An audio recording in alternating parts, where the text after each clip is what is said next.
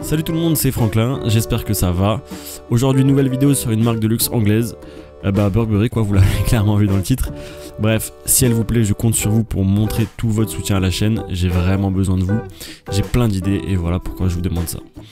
Je vous embête pas plus, bonne vidéo à vous. On est en 1856 en Angleterre et une nouvelle boutique ouvre dans les rues de Basingstoke. Elle est détenue par un jeune de 21 ans, Thomas Burberry. C'est un ancien apprenti drapier qui a donc une connaissance très développée du tissu, mais qui souffre d'un rhumatisme. On le sait, en Angleterre il pleut beaucoup, et son médecin lui conseille alors de laisser tomber son imperméable en caoutchouc, car il empêche sa peau de bien respirer. Il se spécialise alors dans les vêtements outwear, et plus particulièrement, je vous le donne en mille, les imperméables. Son business est florissant et le succès est au rendez-vous puisque bon nombre de personnes influentes de la région viennent s'habiller à sa boutique. C'est un détail plutôt pas mal pour l'image de marque. Il perfectionne ses compétences dans les vêtements chauds, c'est en 1880 qu'il invente le tissu qui va le faire passer dans une autre dimension, la gabardine. C'est une technologie en 5 épaisseurs différentes qui protège du froid et de la pluie grâce à un tissage particulier en laine de mouton. Un gros coup de pub d'ailleurs quand cette invention va sauver la vie d'un capitaine qui s'abritait d'une tempête de neige sur une tente en gabardine. Ouais, quand ce genre d'événement arrive, c'est tout bon pour la marque parce que du coup la gabardine tient chaud, mais aussi parce que bah, une vie est sauvée quand même, et ça c'est pas mal important. Le succès traverse le temps et Thomas Burberry fait encore grossir son business. En 1891, il ouvre sa première boutique londonienne et renomme sa marque Thomas Burberry Sons. Dix ans plus tard, l'armée le contacte et lui dit Fais-nous des uniformes d'officiers imperméables et résistants à peu près. Bon, défi relevé pour la marque qui en profite d'ailleurs pour créer un logo, celui du cavalier. La marque ne cesse de grandir et le trench passe les frontières anglaises, puisqu'en 1905, une boutique ouvre à Paris, puis dix ans plus tard, il passe les frontières de l'Europe et se développe au Japon. On se rend bien compte qu'à ce moment-là, la réussite de la marque est surtout parce qu'elle produit des vêtements pratiques avant même d'être esthétiques. Et c'est fou quand même parce qu'on sait qu'aujourd'hui c'est plus vraiment le cas. D'ailleurs, cela s'ancre car la marque devient fournisseur de l'armée britannique pour les vêtements froids. Bon alors depuis tout à l'heure, j'utilise le mot trench coat pour désigner les imperméables de Thomas Burberry. Mais en fait, il faut savoir qu'à cette époque-là, il ne s'appelle pas comme ça.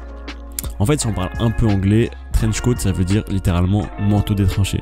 Alors si on a un peu de culture, bah on sait très bien ce qu'est une tranchée. Donc c'est là que l'appellation naît, à la suite de ces manteaux pour les soldats que Thomas Burberry leur fait porter pendant la Première Guerre mondiale. Quelques années après la guerre, la marque va améliorer son offre et surtout la diversifier pour pouvoir se démocratiser un petit peu plus facilement. Ah oui d'ailleurs, juste après la guerre, Burberry devient habilleur officiel du roi d'Angleterre George V. Et ça c'est cool. Voilà, j'oublie ça là. Pour en revenir à l'offre de la marque, elle décide de faire une écharpe imprimée avec le motif typique de Burberry que tout le monde connaît aujourd'hui, mais également des parapluies, des vestes, des pantalons, des chapeaux et des tenues sportives pour la chasse ou le golf par exemple. Cette diversité connaît un large succès, mais l'entreprise est en deuil à la suite du décès de son fondateur, Thomas Burberry, en 1926. Ce sont ses fils qui reprendront l'affaire jusqu'en 1955, où elle est rachetée par un grand groupe qui renommera la marque Burberry's. La marque, qui avait jusqu'alors un coup de mou, se voit de nouveau grossir à la suite d'un nouvel élargissement de l'offre de costumes, de prêt-à-porter, de maroquinerie pour hommes et femmes, ou encore de lunettes. Le motif tant connu aujourd'hui est alors à son apogée. La marque se veut assez luxueuse pour une clientèle assez haut de gamme, du moins c'est ce que la marque essaie de faire pour garder un certain prestige. Prestige qui est compromis lorsque les pièces se retrouvent dans des clips de rap ou dans les tribunes d'hooligans de stade de foot. Burberry décide alors de retirer de la vente toutes les pièces qui sont portées par ces gens, pouvant compromettre leur prestige et de ralentir un peu sur l'utilisation du motif tartan. La marque prend un sacré coup et perd de son prestige, d'autant plus lorsqu'ils sont accusés d'une utilisation trop importante de fourrure dans leurs vêtements. Mais Burberry ne se laisse pas abattre et grâce à certaines personnes influentes qui représentent la marque, comme Emma Watson par exemple, l'entreprise retrouve des couleurs. Ça ne s'arrête pas là. Pour appuyer son renouveau et donner un nouvel air frais à la marque, elle recrute un nouveau directeur artistique, Christopher Bailey. Celui-ci rajeunit la marque avec une stratégie d'extension sur les réseaux sociaux.